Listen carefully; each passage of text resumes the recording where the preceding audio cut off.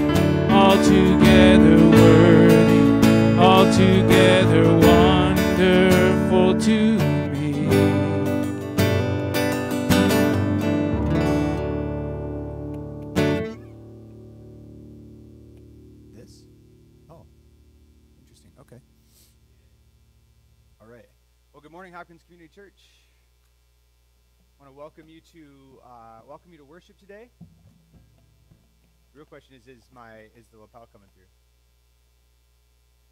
Is my is my voice coming through? Okay, good. Uh, hey, you know what? Today's a little different. We we've had a few technical difficulties this morning, and it's raining, and we're not up on the lift, and you know we we, we recognize the the realities and the limitations of drive-in church. Uh, the reality, though, too, is that uh, where two or three are gathered in the name of Christ, He is there, and that is the most important thing. So whether you are here present in the parking lot today, or whether you are at home uh, tuning in on the live stream, we are gathered in the name of Christ, and He is here with us. Listen to the words from Psalm 139. You have searched me, Lord, and you know me. You know when I sit and when I rise, you perceive my thoughts from afar. You discern my going out and my lying down. You are familiar with all my. Before a word is on my tongue, you, Lord, know it completely. You hem me in, behind, and before, and you lay your hand upon me. Such knowledge is too wonderful for me, too lofty for me to attain. Where can I go from your spirit? Where can I flee from your presence? If I go up to the heavens, you are there. If I make my bed in the depths, you are there. If I rise on the wings of the dawn, if I settle on the far side of the sea, even there your hand will guide me, your right hand will hold me fast. If I say, Surely the darkness will hide me, and the light become night around me, even the darkness will not even the darkness will not be dark to you, for night will shine like the day, for darkness is as light to you. For you created my inmost being. You knit me together in my mother's womb. I praise you because I am fearfully and wonderfully made. Your works are wonderful. I know that full well. My frame was not hidden from you when I was made in the secret place, when I was woven together in the depths of the earth. Your eyes saw my unformed body. All the days ordained for me were written in your book before one of them came to be. How precious are your thoughts, O Lord.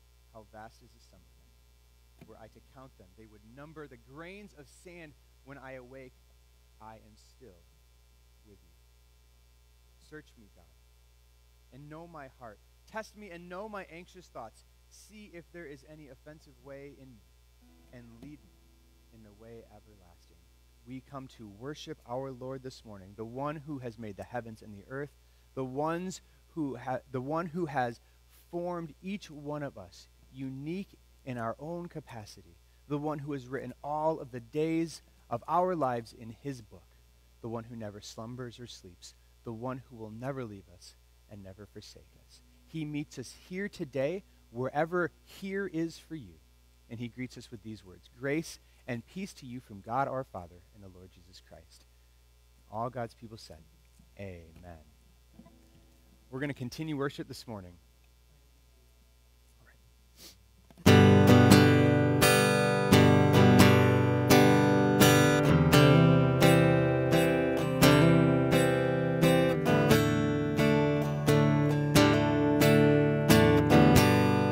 On a hill far away.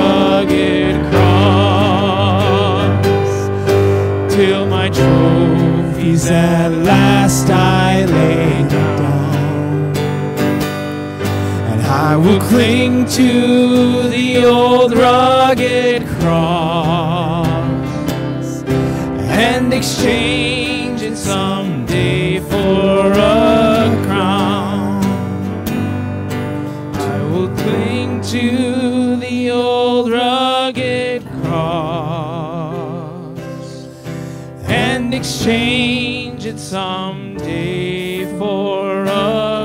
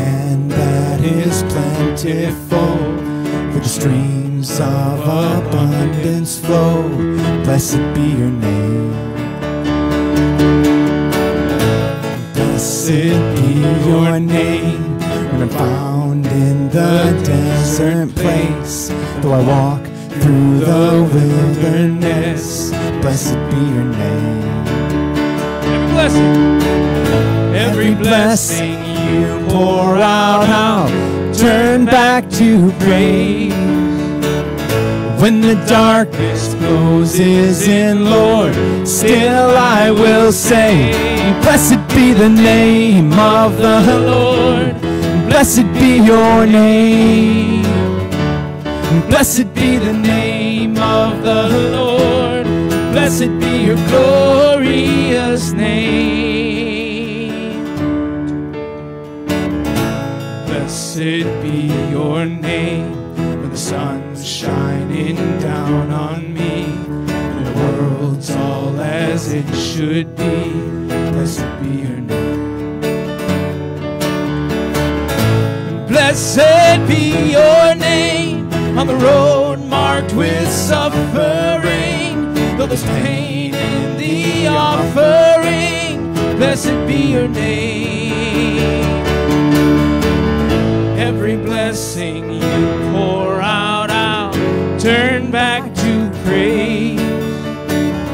When the darkness closes in, Lord, still I will say, Blessed be the name of the Lord. Blessed be your name. Be the name of the Lord. Blessed be your glorious name. Blessed be the name of the your name. Blessed be the name of the Lord. Blessed be your glorious name. You give and you take away. You give and take away. My heart will choose to say, Oh, blessed be your name. You give and take and take away. My heart will choose to say, Lord, blessed be your name. Blessed be the name of the Lord. Blessed be your name. Blessed be the name of the Lord. Blessed be your glorious name. Blessed be the name of the Lord. Blessed be your name, Jesus. Blessed be the name of the Lord. Blessed be your glorious name.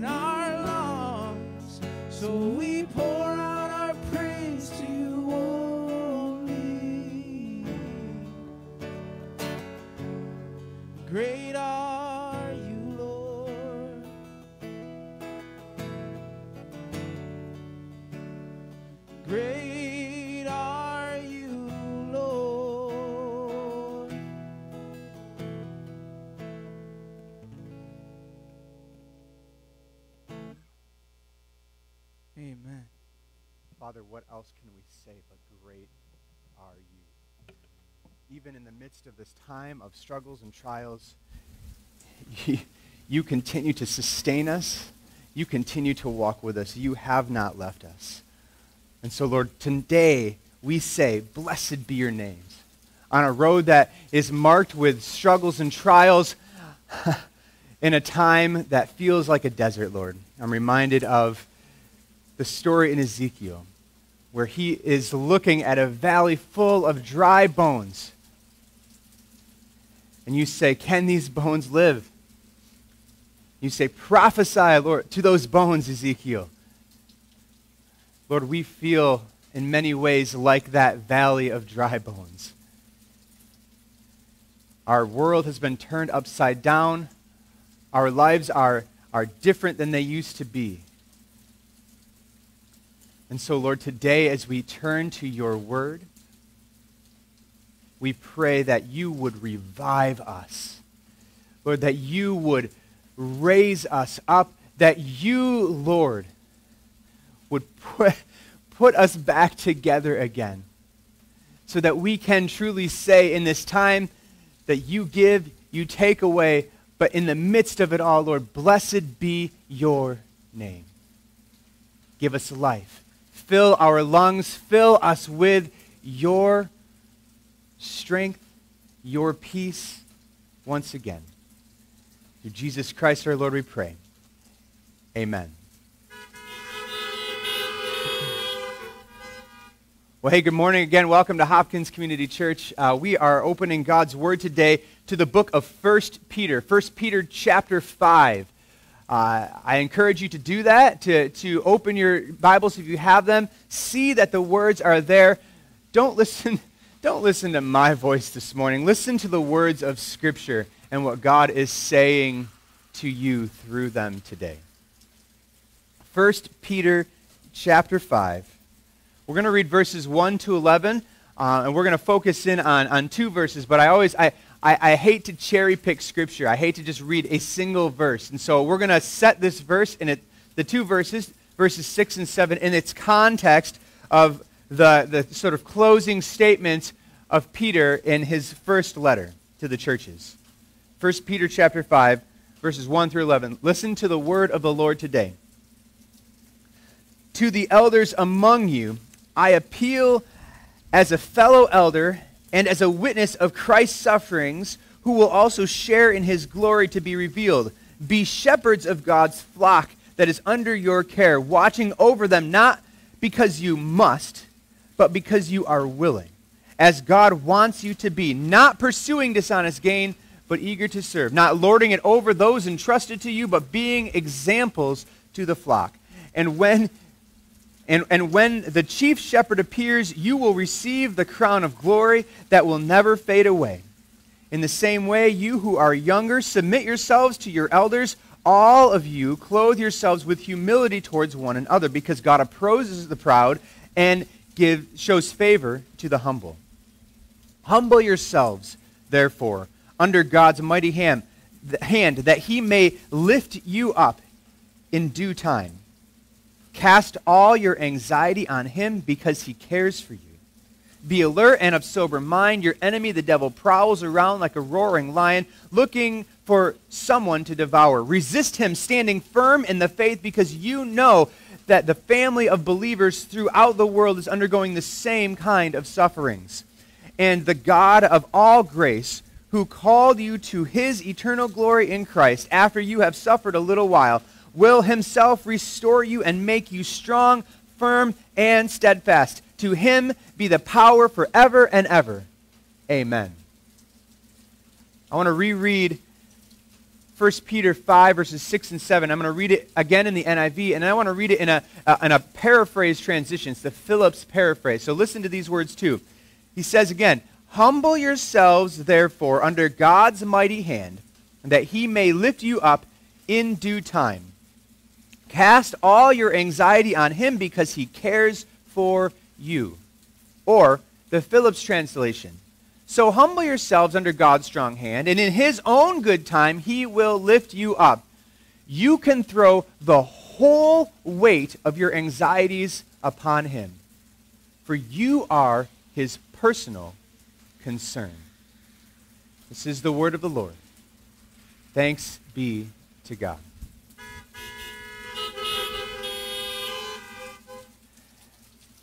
Every week, as I prepare sermons, I, I have a little section. I, I have like a template that I kind of use to, to put my notes together.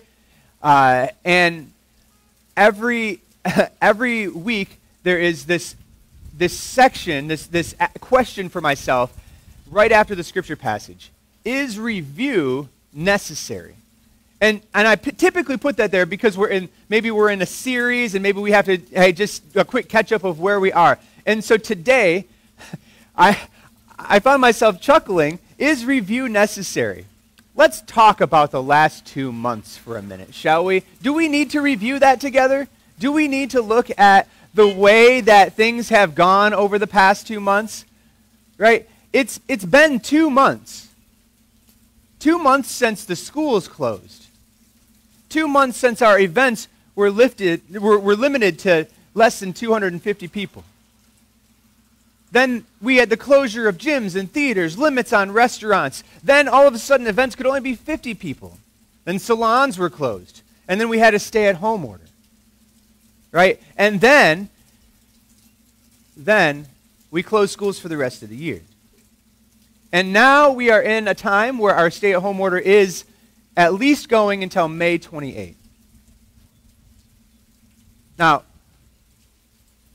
that's just the facts of the things that have been going on. But with all of this going on, we cannot deny the fact that there is a palpable amount of concern in the air with regards to COVID 19, with regards to our government, with regards to all that is going on in our lives.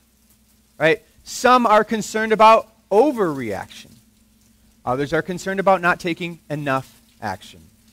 Some are concerned about too much power in the government. Others are concerned that the, the government will cave to pressure. Some are concerned about their businesses and their livelihoods. Others are concerned that their business or their livelihood might get them sick and others around them. Some are concerned because they know too much about this. Others are concerned because they don't know enough.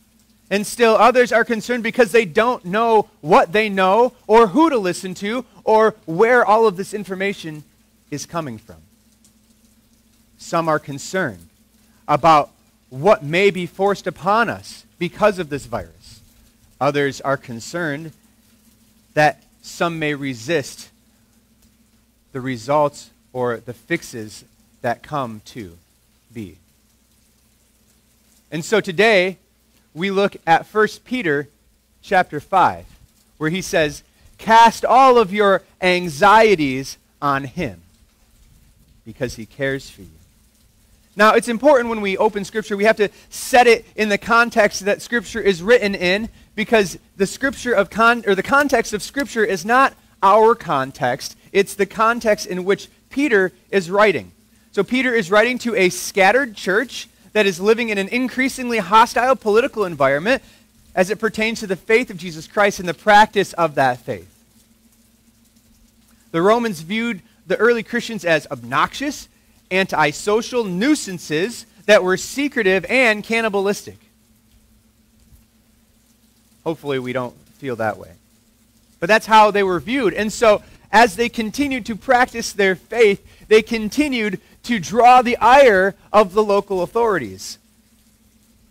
Being a Christ follower in that day meant the impending possibility of persecution. It could break out at any time. No one knew what was going to happen.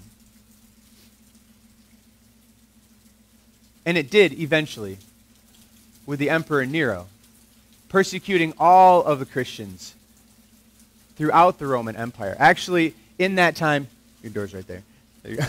In that time, really, honestly, if we think hard about this, it, there was no time where there was a greater possibility that all of Christianity could be wiped out by the Roman government. Obviously, that didn't happen because God is on the throne and he takes care of his people. We have to recognize then, because of this environment that Peter is writing into, that these Christians many of them new converts who are just beginning to grapple with the realities of what the apostles are teaching at this time, were concerned. They were concerned for their lives. You can imagine that they probably had some conversations like, man, if this political environment gets any worse, I can't imagine what it's going to be like. They were concerned for their children or their grandchildren, the ones that they had, or whether or not they should even bring children or grandchildren into, or bring children into this world at that time. Right? They were concerned about families, or maybe, maybe they were engaged and wondering, should I even get married at this point? Or maybe they were single and saying, how am I ever going to find someone in this environment? It's terrible. It's awful. No one, right? Who's going to, who's going to be looking for this? They're concerned about their businesses. What if the government came in and closed me down and took my livelihood? They were concerned about their future because it was increasingly unknown to them. Sound familiar? Not much has changed in the last 2,000 years, huh? You know, the reality for us is that we have only added our, to our previous lists of concerns and anxieties that were already abundant in our lives. They were already uh, things that we worry about on a regular basis. We worried about being in crowds, or maybe we worry about being alone. We worry about being up too high, or maybe we worried about being in enclosed spaces. We worry about failure, or maybe we worry about the implications of what success would bring. We worry about flying. We worry about driving. We worry about knowing God's will for our lives. Or we worry that we have or will miss that will.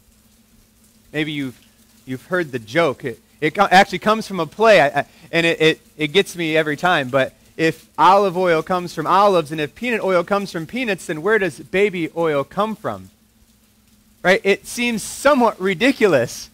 And yet, it's, it kind of gets at the deep reality of how far we can go with our concerns, with our anxieties, with our worries. It is no stretch to say for us today that anxiety pervades our lives at ep- epidemic levels. You may feel it in different ways, but it is there. So, what is anxiety? What is what are the concerns that Peter is talking about here? Well, the word anxiety uh, comes from uh, a couple of different root words depending on where you want to go with your, uh, your sort of word study uh, thoughts. It comes from one root word in the, in the Latin which actually means to choke or to strangle. This is not an unfamiliar feeling when we are gripped with anxiety and we just don't know what to do. Sometimes it feels like we can't even breathe, we can't even move, we just, we're, we're paralyzed. Another part of this word comes from a root that means to divide or to distract. But no matter where you want to go with that, the reality is that anxiety fuels the fear of our lives and renders us, in many ways, uh, inactive, perhaps, or overactive, depending on how we respond to it. It renders us to be less productive than maybe we should be, less focused than we should be. It takes our minds and twists it all around in our lives so that we don't know which way is up. Right? It's hard to live your life when you're always afraid of death. It's hard to succeed when you're always fearing failure. There's so much in so many ways that we can we can say these things. Before we move on, I, I do want to acknowledge this morning that for many of us, this is a constant battle. And, and whether it's by force of habit or a medical condition, anxiety is a constant life companion. And we fight it day in and day out. And I want us to recognize this morning that neither God nor Scripture nor even myself want to deny that, want to say it isn't real or am in any way unsympathetic to this or have no experience with it as well. What Peter says here and what he is doing in this moment is answering the question how do we handle anxiety? How do we handle anxiety? Cast all of your cares upon him because he cares for you.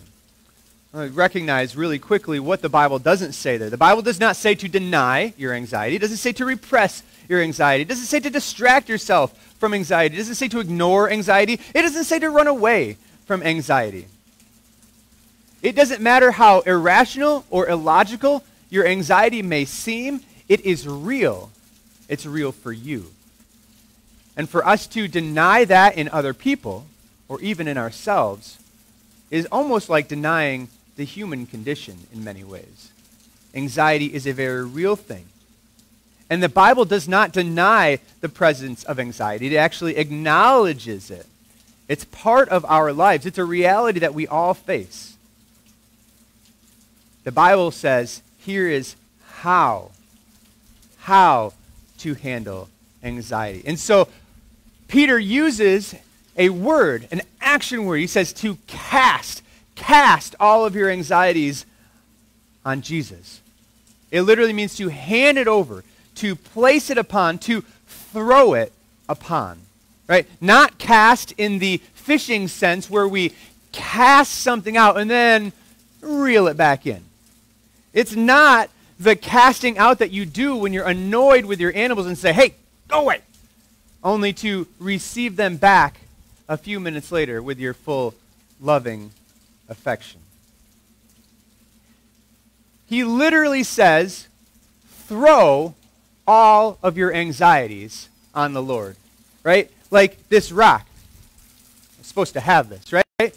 To throw throw your anxieties upon the Lord. Get rid of it. Like a garbage man, right? We have these new garbage trucks. They have the little claw and they just dump it, right? But it used to be, it used to be that there was a, a garbage man, a, a garbage thrower, and he rode either in the, the passenger seat or in the back of the truck, right? And what did he do? What did he do? He came and he got your trash and rah, throws it onto the truck, right? He doesn't pick out little pieces at a time and, you know, keep running back and forth, whatever. He takes the whole bag and throws it right in there. It gets crushed up and, and whatever else. That's the, the idea that Peter is getting at. Throw, cast, get rid of all of your anxieties. And where do you put it? Put it on the Lord. Why? Because he cares for you. Or in the paraphrase, because you are his personal concern. Now, we read this in the NIV as a command, right? Verse 6 says, Humble yourselves before the Lord, and he will lift you up. And then it says, Cast all of your anxieties. But if we want to read this literally from the Greek, it's actually a participle. That's exciting, right? Everybody loves a good grammar lesson, but it's important. It's important in this, in this uh, section to, to, rea- to realize what Peter is saying and how he's saying it. He says, Humble yourselves before the Lord, casting your anxieties upon him, and he will lift you up in due time because he cares for you. This is really the reality of what's getting on. It's not enough to just say, throw your anxieties, right? Because it's just that easy. it's not. It's not just that easy. And, and, and, the reality of, of how we cast them, how we throw them, how we lay them upon the Lord is by humbling ourselves. It comes back to humility. We talked about this a couple of weeks ago. Following Christ's example, he who humbled himself by being obedient unto death, even death on a cross, right? Humble yourselves before the Lord, casting all your cares upon him. What does this look like? What does this look like? Because humility is a, is a big word that we talk about a lot, but maybe we need to vet it just a little bit. Think about flying on a plane for a second. When you get on a plane, you, you participate in a humbling of yourself. Because you are recognizing that at that moment, you do not have control of the plane. You do not have the know how to fly the plane. You do not have any ability to handle your situation apart from sitting back and doing what the pilot says sit back, relax, and enjoy your flight, right? And it doesn't matter if you're sitting in first class or if you're sitting in the la- last row next to the toilets. There's nothing you can do. You are humbling yourself and allowing the pilot to do what the pilot does.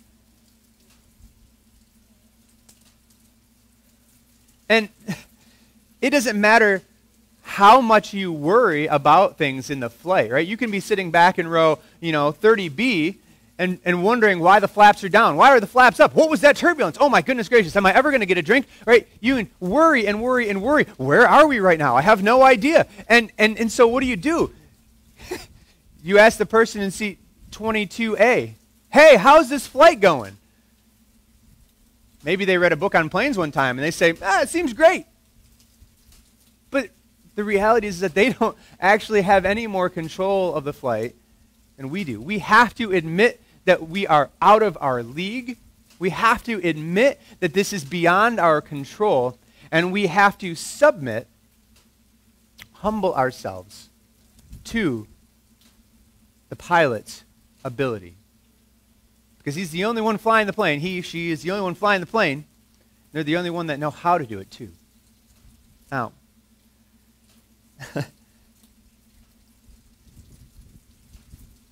we have to humble ourselves before the Lord and recognize who God is and who we are. And we have to recognize who is actually in control here. We think so often that we can control our lives, that we have everything in our own grip, right? How many of us how many of us want to have control of our lives? Yeah? Okay. Right? We want to have control. We want to feel like we're in control. And if nothing else in the last 2 months, we have been faced with the simple reality that we are not in control. We're not. And it doesn't matter. It doesn't matter what you think about the virus. It doesn't matter what you think about the government. It doesn't matter what you think about any of this. The simple reality is that we have been faced in our North American self centered lives that we are not in control here. Right? If I were to tell you in January that this was all going to happen, you probably would have laughed at me. If I were to say right now, we all want to go back to February when everything seemed all hunky dory, why would we want to go back there? Because it felt normal because we were in control. Humble yourselves before the Lord's mighty hand, casting all of your anxieties on Him. We read scripture upon scripture that talks about who God is and about what he does in our lives, right? I lift my eyes to the hills. Where does my help come from? My help comes from the Lord, right? He, he will not let your foot slip. He who neither slumbers nor sleeps will watch over you day and night. He, he will never leave you or forsake you, right? The Lord is my shepherd. I lack nothing. He is the one that makes me lie down in green pastures. He leads me beside still waters. He is the one who restores my soul. We read these things, we know these things, and yet we don't seem to want to live them. But the reality is, is that they are the truth that we need in this moment. If we are going to cast our anxieties on anyone, we need to cast our anxieties on the one who has written every single day of our lives in his book before any single one of them came to be. The one who knit us together in our mother's wombs. The one who knows us better than we know ourselves. That's the person that should be in control of our lives. That's the one who should be managing things. That's the pilot that we want. Right? We don't need to get up in the early in the morning to give God a wake-up call because he's already been awake. He never slumbers nor sleeps. We don't need to stay up at night working harder and harder and harder because God went to bed early. He neither slumbers nor sleeps, right? God knows. He knows about your kids, about your family, about your business, about your future. He wrote them, He designed them, He ordained them to be. Right? We so readily quote Psalm 139, right? I knit you together in my mother's womb. I, I praise you because I'm fearfully, wonder- wonderfully made. What do we quote this for? We quote this when we talk about things like abortion. And rightly so. But why is it that we uh, so poorly apply the very same passage to our own lives? Because if we're honest with ourselves, we want to be in control.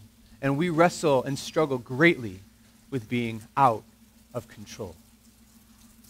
We are like the disciples in the boat in the storm, right? They're trying to hold on to everything and da da da da da. They got the creator of the world sleeping, right? The one who is omniscient, knows everything, the one who can eh, literally like holds all the world and all the, the world, all the universe in his hands, and he's sleeping in the boat. And they wake him up and they say, Jesus, Jesus, Jesus, I just want you to know you're about to drown. It's it's kind of ridiculous if you think about it. hey, by the way, God, just want to know you're about to you're about to drown there. I, I have to I have to wonder, like, like Jesus, you know, being woken up from a nap, going, Ugh. man, I wish these guys would get it. we feel like that in our lives sometimes. When we get to the point of being out of control, where we say, Jesus, Jesus, hey, wake up! And he goes, Whoa, I've actually been here the whole time.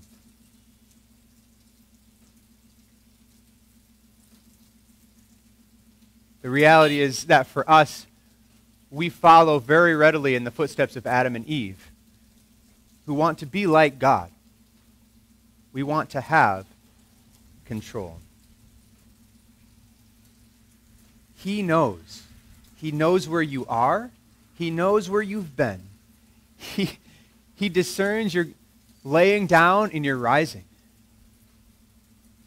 No matter where you go, no matter where you are, He is there. He's not sleeping. He's not distracted. He's not on vacation. He hasn't left you. Right? When you're wondering how you're going to make ends meet, the provider of every good and perfect gift is there. When you're awake at 3 a.m. trying to shut your mind off, He is there offering His peace. When you don't think you can make it to tomorrow, the one who sustains the universe is at your side.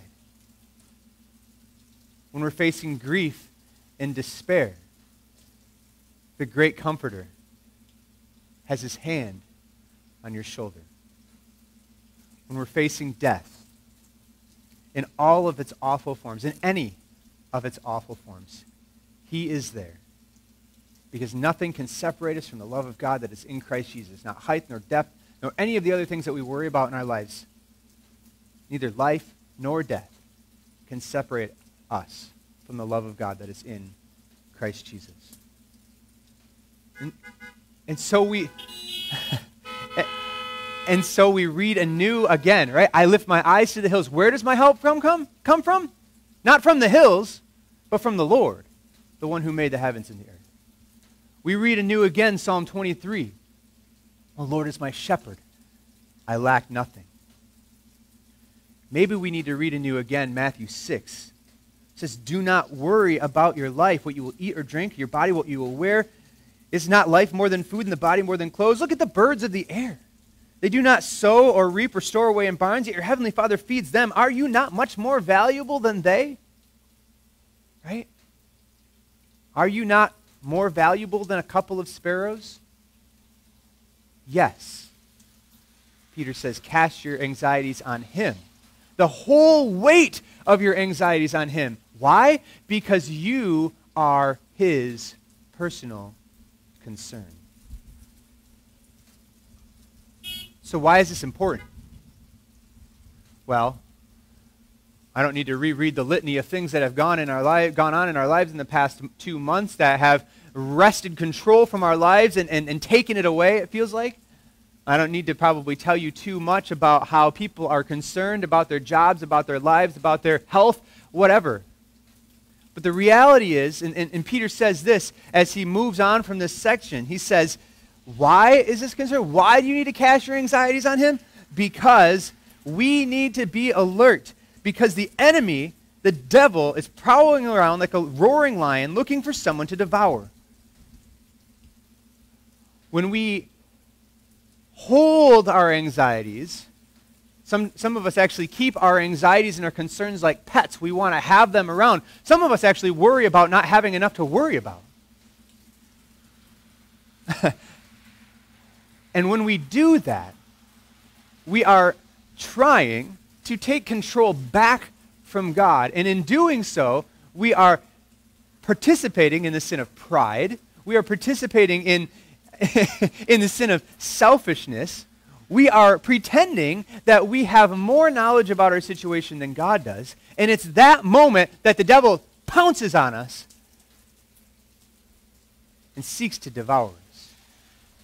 Cast all your anxieties on him because he cares for you.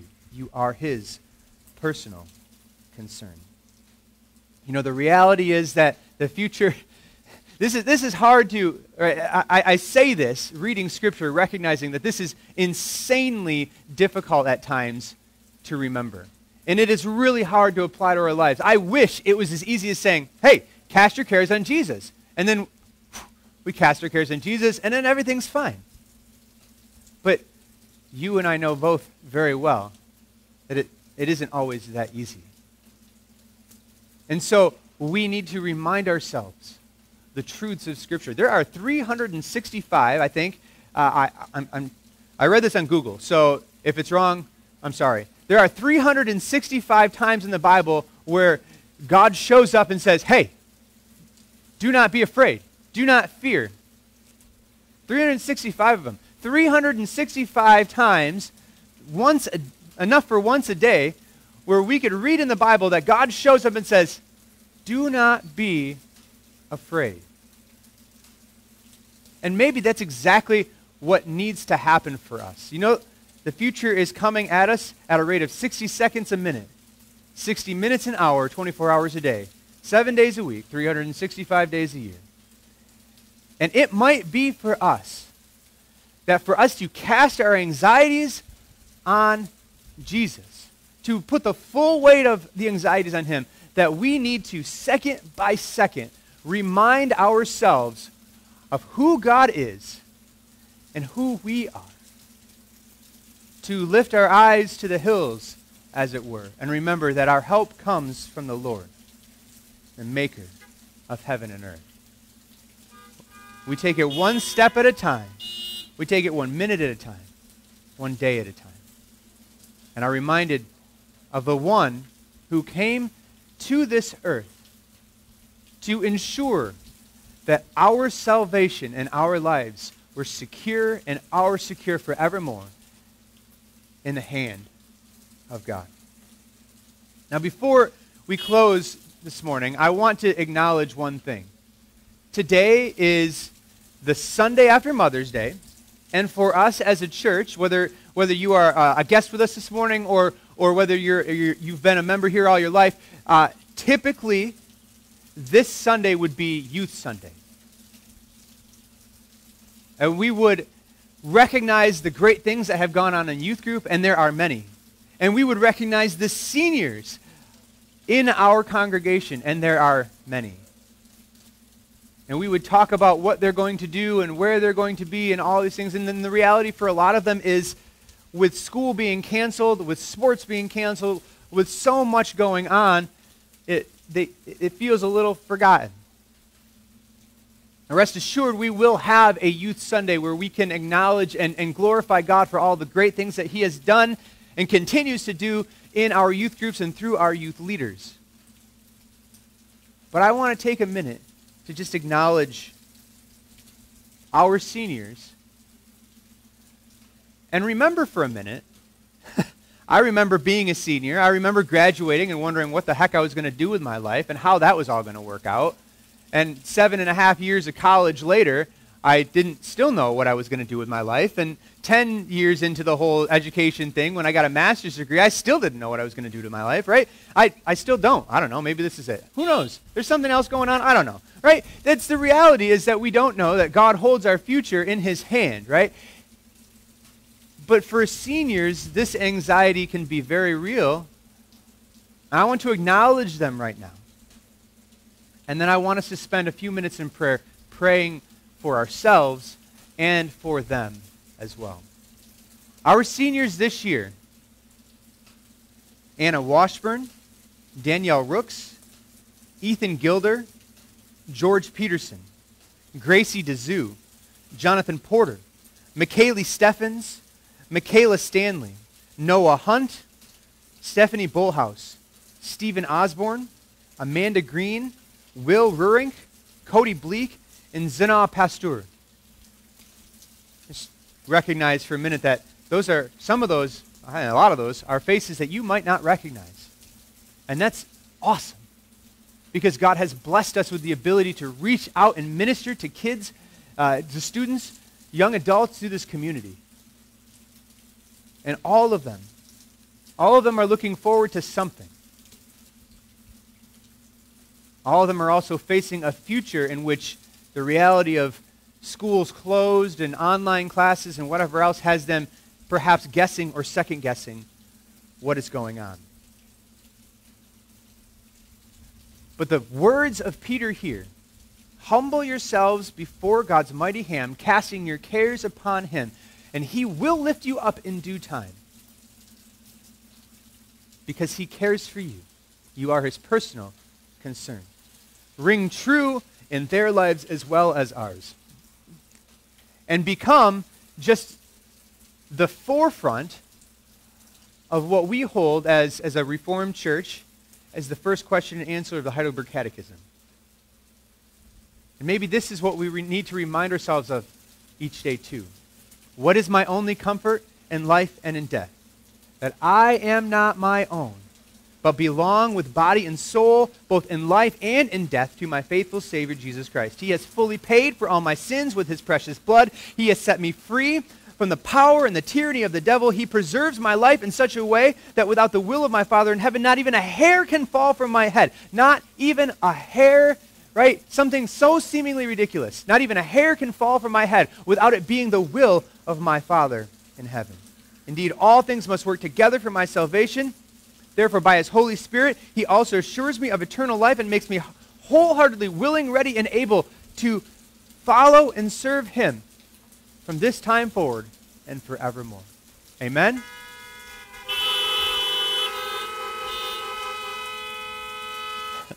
Let's pray. Lord, you have been our dwelling place throughout all generations. Lord, before even a single atom of this universe was formed, you were there. And you have written every moment of every day that the universe will exist in your book. And Lord, we confess right now that sometimes we struggle to believe that.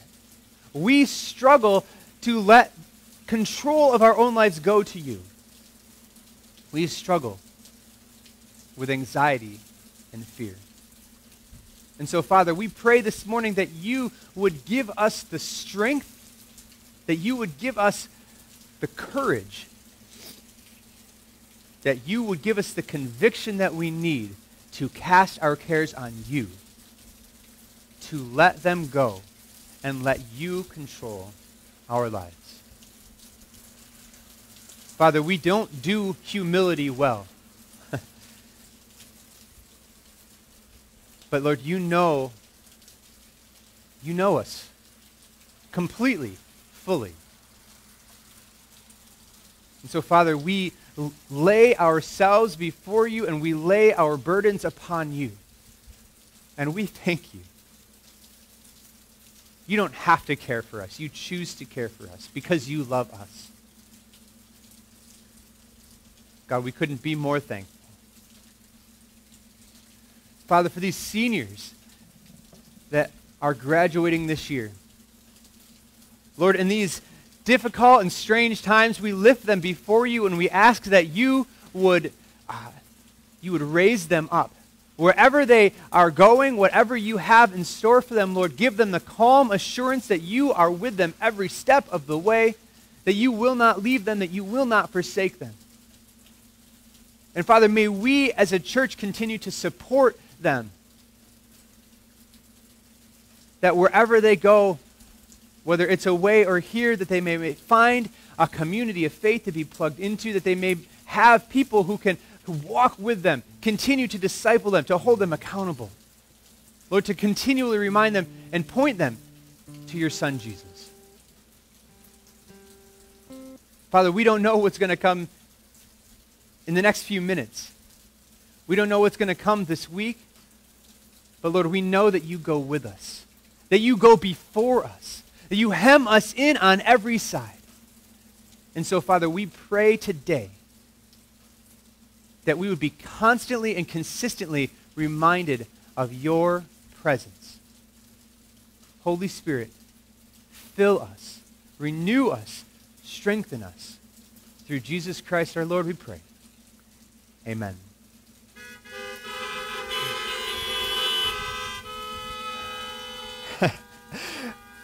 Just a couple of quick housekeeping things before, uh, before we go.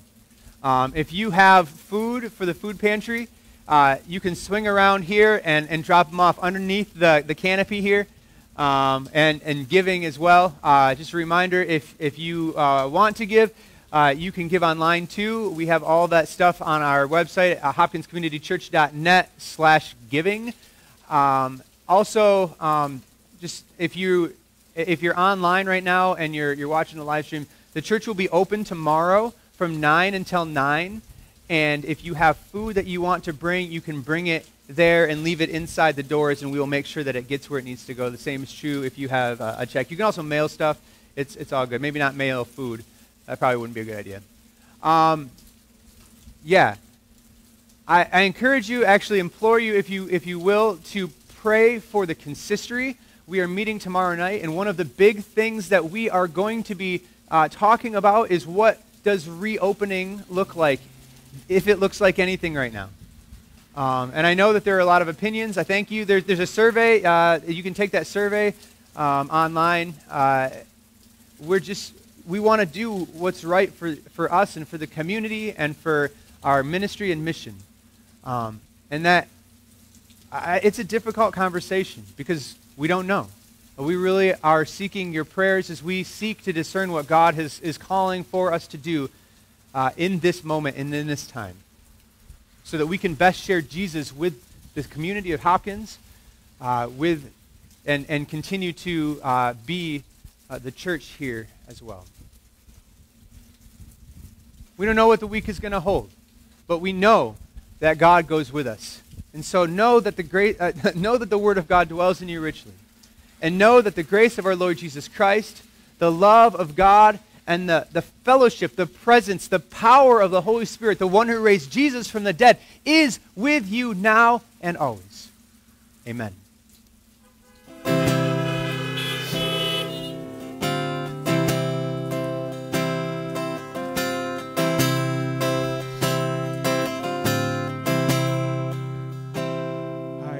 Cast my mind to Calvary,